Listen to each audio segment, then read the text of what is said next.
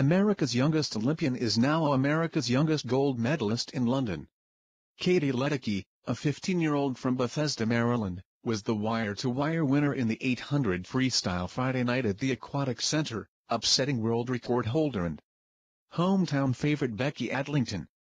The rising high school sophomore was the youngest of the 529 athletes the United States sent to the Games. She becomes the second youngest swimming medalist in Team USA history, 77 days younger than Beth Botsford, who won gold in Atlanta in 1996. Ledecky dictated the pace of the long-distance event from the start, flipping first on the opening turn and maintaining her lead until the end. I just wanted to go out controlled and try to get out there, Ledecky told the BBC after the race.